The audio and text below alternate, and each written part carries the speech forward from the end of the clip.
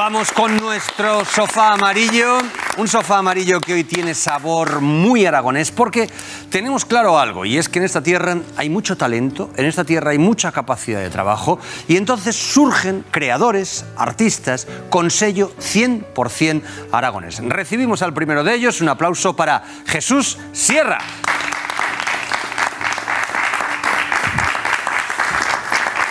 Jesús, amigo, bienvenido, ¿cómo estamos? Buenas tardes. Artista, cantante, músico, compositor. Pero lo primero que te voy a preguntar, ¿qué idiomas hablas? Vamos a empezar. Primero, Bueno, hablo inglés, inglés, ¿vale? Siguiente. francés, Siguiente. alemán, Siguiente. swahili. Swahili. ¿Y Swahili? ¿Cómo hablas Swahili?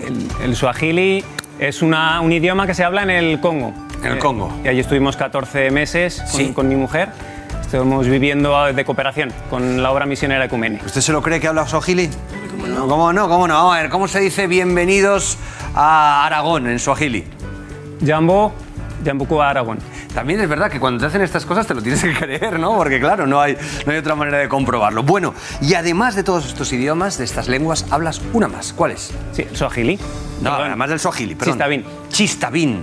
¿Y el chistavín es la lengua que se habla dónde? El chistavín se habla en el valle de Chistau, que está en el norte de Huesca. Sí. Está en eh, Plan, San Juan de Plan Sí. y Chistén. eh, Oye, pero, pero tú no eres de Huesca. No, Eh, ni tampoco en principio tienes familia allí, en la zona, ni nada. ¿Cómo entras en contacto con el chistavín? Cuéntanos. Bueno, pues yo pasé, en- cuando era joven, pasé Sí. muchos eh, veranos en campamentos en- en- allí, en el Valle de Chistau, y conocí, empecé a conocer la las costumbres, la cultura chistavina, y, y escuché por primera vez la, hablar chistavín. Oye, fíjate tú que nosotros no nos damos cuenta hasta qué punto eh, tienen responsabilidad y alcance de determinadas decisiones. Porque dices, voy a llevar a mi chico a un campamento. No sabes que le estás cambiando la vida igual. Porque a ti aquello en cierta manera te cambió la vida.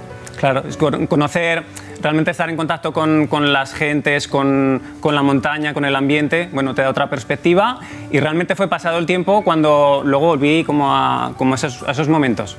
Bueno, ese es uno de los elementos fundamentales. Tu pasión, en este caso, por el chistavín. Pero luego hay otra serie de cosas, de influencias, que han terminado por nutrirte y hacerte el artista que eres hoy. Por ejemplo, tu abuelo. Tu abuelo que se llamaba el Chato. ¿Qué pasó con el Chato? ¿Qué empezaste a hacer con él? Bueno, pues mi abuelo fue el que me enseñó a, me empezó a enseñar a tocar la guitarra Sí. y fue desde siempre fue una referencia.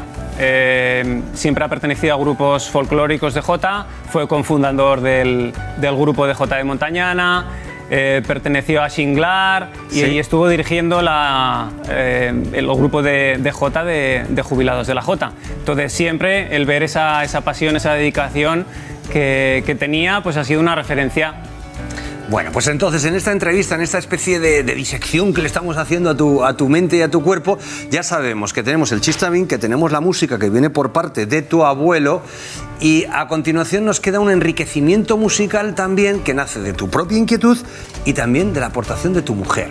¿Tu mujer de dónde es? Claro, mi mujer es de un pueblo del, del Bajo Martín, Sí. que está en, el, en Teruel, Sí. de Urrea de Gaén. Muy bien. Entonces, al, al empezar a ir al pueblo, a Urrea de Gaén, pues conocí las costumbres, las tradiciones que hay allí.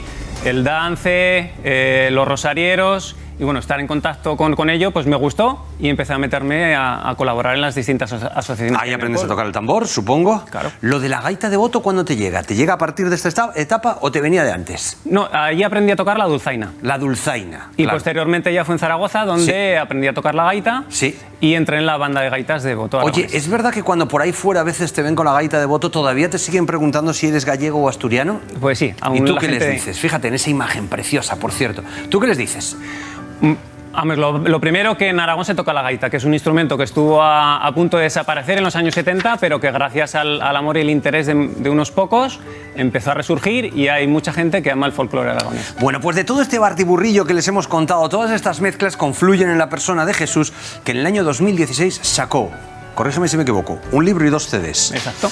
En el que aportas canciones escritas en chistavín. Sí. Escritas por ti, ¿sí? Sí. En chistavín. ¿Cómo ha sido acogido este libro y estos CDs?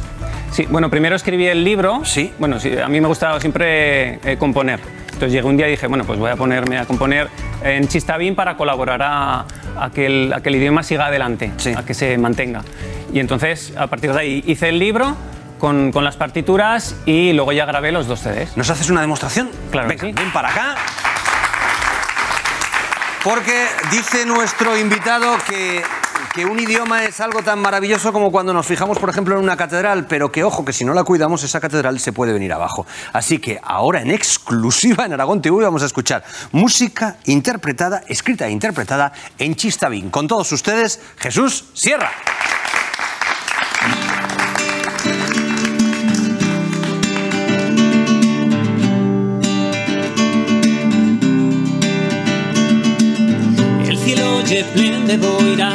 Que me siguen dende el alba y las suyas trazas todas de tu me fan acordanza como delfines en las olas chugatían con las tucas fan brincos y pintacodas dibuixando a cara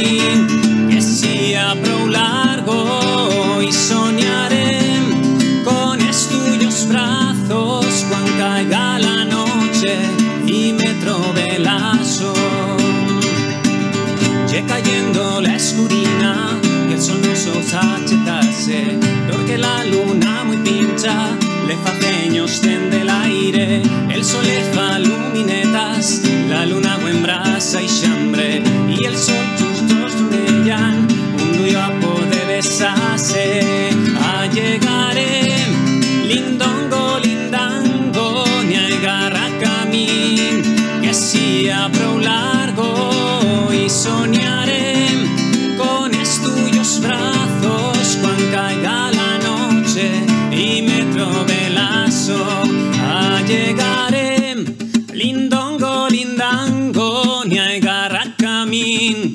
sea prou largo y soñaré con tuyos brazos cuando caiga la noche y me trove lazo.